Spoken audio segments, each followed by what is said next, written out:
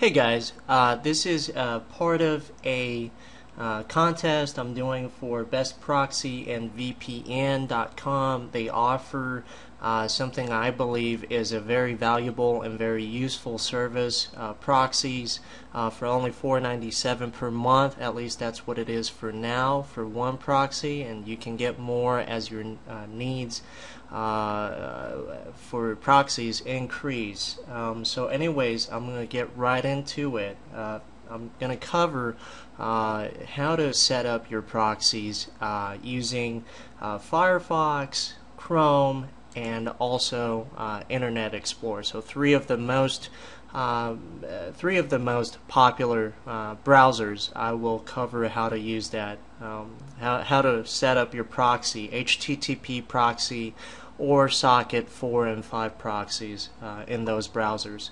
So first of all, open your uh, Firefox, and let's see here. You go into your file, uh, which is you press the Alt button, or you can press um, the Firefox, but I like to press, um,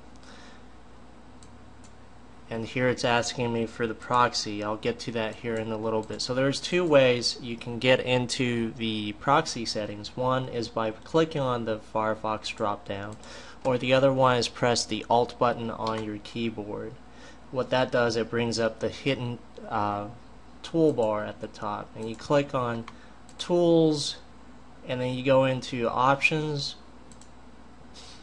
And then you see this dialog. Uh, you want there's a lot of uh, little tabs in there. You want to make sure you click on the Advanced. Usually it goes into General, but you want to click on the Advanced, and then on once you click advanced there's a few tabs uh, general network update encryption. You want to click on network and then it's the first one. Is connection. Configure how Firefox connects to the internet. You click settings and usually it's ha it has no proxy selected but since we want to have a proxy you click on manual proxy configuration and this is my IP and port sometimes when um, when you order a proxy, usually they give you a little call-in and then the port number, some random number after the call-in. That is your port number.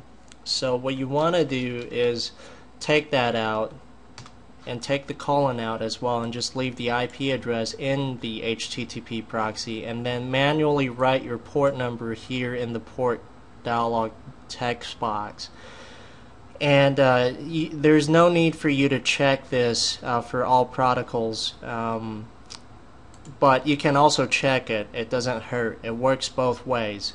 But I'm going to leave it unchecked for now. And if you're choosing to use the sock socks ho socket make sure you get the right socket version. There's four and five. Um, and basically copy in the IP address for that as well and the port number and then click OK, OK, and then you can just go into uh, you know whichever uh, website you want to browse.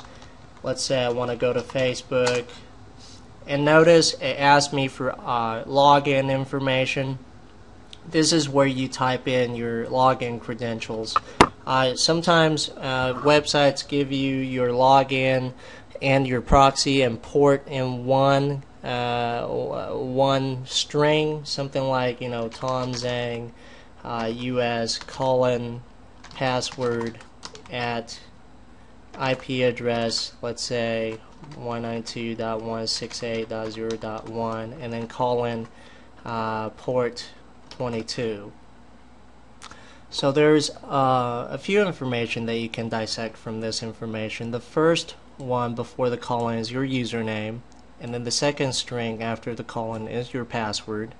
And uh, the the number uh, before the second colon and after the at sign is your IP address and then the last number is your port number. So in this case uh, you since you want to type in your username you just want uh, your username and then type in your password.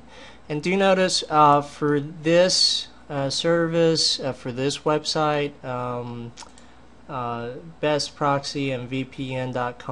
uh, for some reason it asks you for a MOZ proxy.